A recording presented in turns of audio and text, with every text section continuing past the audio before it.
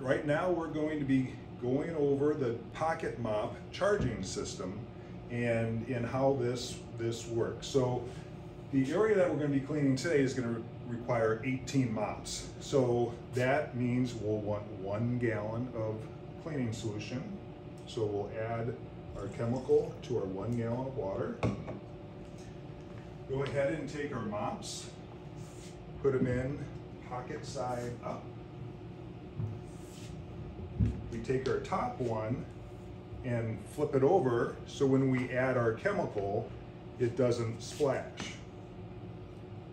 So we'll add our one gallon of chemical.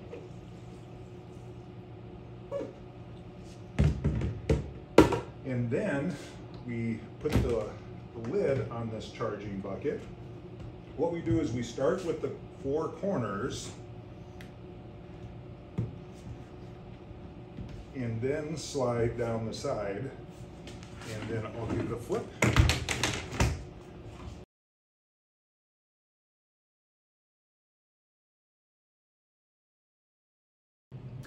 Now when you have a brand new frame and handle, you'll need to connect the handle.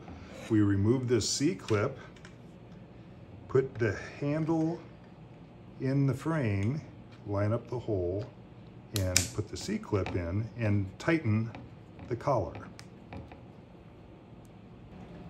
Now when you adjust the handle for each individual user, you turn this handle counterclockwise, bring it up to your chin, tighten it clockwise, and this sets it for the correct height for ergonomic for each height of cleaner. Okay, so it's been around 15 minutes. I've got to the place where I'm gonna clean. So it's, I'm gonna take the bucket and flip it over and take the lid off. Take the top mop, flip it back over, and then I attach my first mop for cleaning.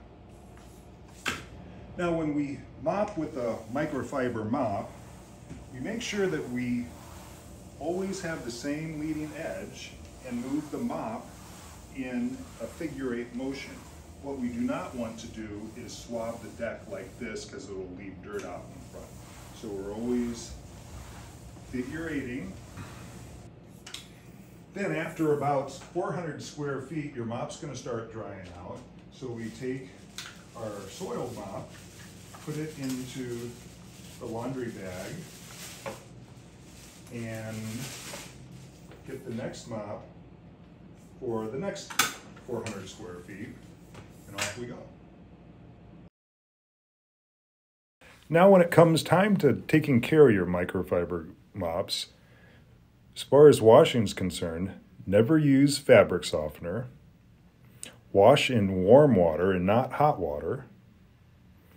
And when it comes to drying, you could either hang dry them or put them in a machine dryer, but use low temperature heat.